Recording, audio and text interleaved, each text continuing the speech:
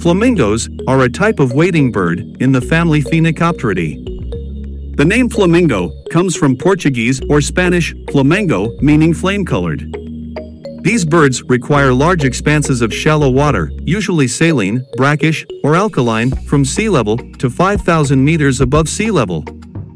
They are found on all continents, with the exception of Oceania.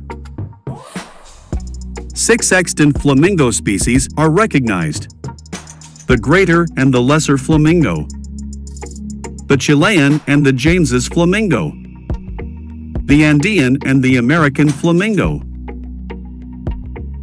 Recent molecular studies have suggested a relation with grebes.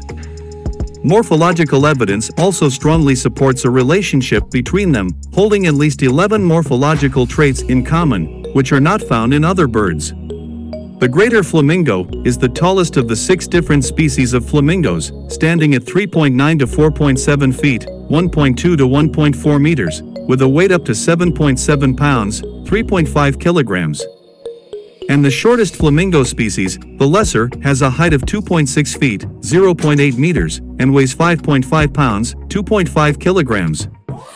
Flamingos can have a wingspan as small as 37 inches 94 centimeters to as big as 59 inches 150 centimeters. Flamingos usually stand on one leg with the other tucked beneath the body. The reason for this behavior is not fully understood. One theory is that standing on one leg allows the birds to conserve more body heat, given that they spend a significant amount of time wading in cold water.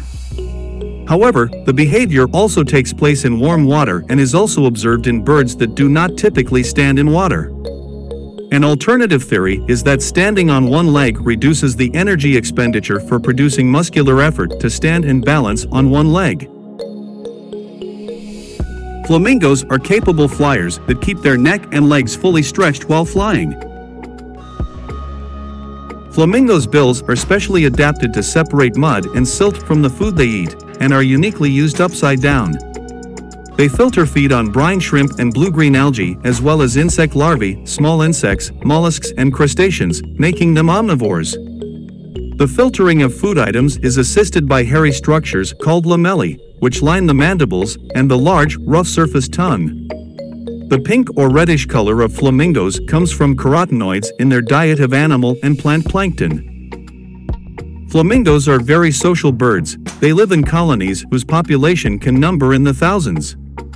These large colonies are believed to serve three purposes for the flamingos avoiding predators, maximizing food intake, and using scarce suitable nesting sites more efficiently. Flamingos are considered very noisy birds, with their noises and vocalizations ranging from grunting or growling to nasal honking. Vocalizations play an important role in parent-chick recognition, ritualized displays, and keeping large flocks together. Both males and females perform synchronized ritual displays by stretching their necks upwards, uttering calls while head flagging, and then flapping their wings. The displays do not seem directed towards an individual, but occur randomly. These stimulate synchronous nesting and help pair up those birds that do not already have mates. The female usually locates and selects a suitable spot on the mudflat to build a nest, which is made of mud, shaped like a truncated cone, with a concave top. Females lay, and then incubate, one, and sometimes two, white eggs, for about 30 days. Both the male and the female contribute to build the nest and to protect the egg. After the chicks hatch, both of them feed their chicks with a kind of crop milk, produced in glands lining the whole of the upper digestive tract. The milk contains fat, protein, and red and white blood cells. The young are fed for about two months, until their beak is sufficiently developed to filter their own food. For the first six days after the chicks hatch, they stay with their parents in the nesting sites. At around 7 to 12 days old, the chicks begin to move out of their nests and explore their surroundings. When they are two weeks old, the chicks congregate in groups, called microcreches, and their parents leave them alone. After a while, the microcreches merge into creches containing thousands of chicks. We hope you enjoyed the video. Don't forget that each new subscriber and positive comment motivates us to create more and better content. Thanks for watching.